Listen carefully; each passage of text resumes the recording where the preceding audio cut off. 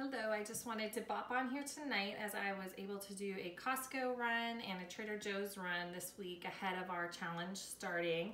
And I wanted to share some of the simple, quick, uh, convenient snack items that I generally pick up from each of those places before I do a challenge month. So I'm gonna start with Costco. Um, I was there today and one of my favorite easy snacks are these organic hard-boiled eggs. Two eggs per pack, um, one egg is 68 calories and I love to sprinkle a little bit of everything but the bagel seasoning from Trader Joe's or a splash of hot sauce on top and that's a super easy convenient snack um, and a great calorie range as well. And it's filling and it's a lot of protein. So that's one of my favorites.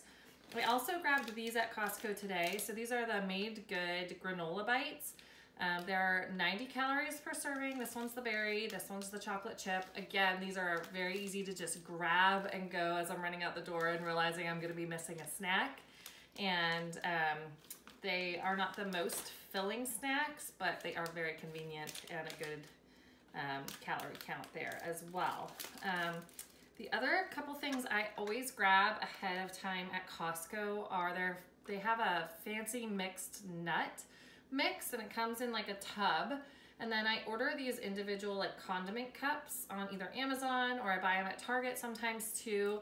And I just go through the tub of mixed nuts and I portion them out like this so that I have quick and easy to grab little containers of mixed nuts. I keep these in the freezer. Um, I just kind of like them that way. It preserves them a little longer.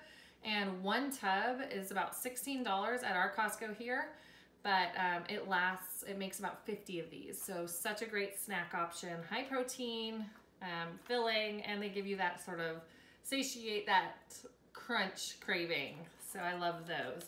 The other thing I always pick up at um, Costco are these little hummus ones. Um, I pretty much always have mini carrots on hand for challenge uh, months and so these little hummuses are great to dip those in and um, one container is about 160 calories, so a little bit over your uh, goal of like 100 to 150.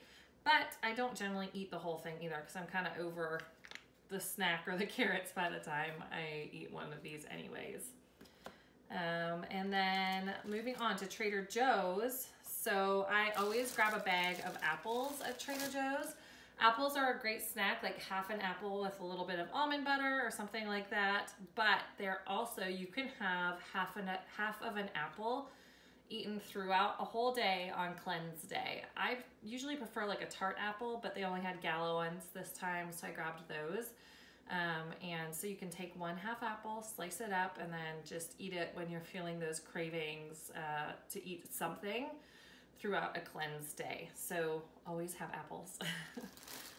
Snacks and cleanse survival. Um, okay, another thing I always grab at Trader Joe's is the um, brown rice rice cakes. So I love rice cakes because I use them almost like bread. So I will do like a sandwich sort of thing on there, um, maybe some hummus, with a slice of meat and some avocado or something, but I make avocado toast with them where I'll put a quarter of an avocado and then of course my everything but the bagel seasoning on top or some hot sauce. Um, you can put, spread them with almond butter, all sorts of things, and they're tasty, um, and they kind of take the place of bread without the calories. So another great option with them this is one of my favorite things and my girlfriend Sarah recommended it to me. Um, the spinach and kale Greek yogurt dip from Trader Joe's. It is packed with protein, uh, two tablespoons is 30 calories, and it's so yummy. It's made with yogurt rather than the sort of sour cream or mayonnaise, um, and it's delicious. I use carrots with it, I dip celery in it, cucumbers, whatever. The other really great one at Trader Joe's is their tzatziki. I didn't get it this time, but um, it's a great option too. And a little bit more caloric than this one and less protein. So I generally try and get this one, but to switch it up, the tzatziki is a great option as well.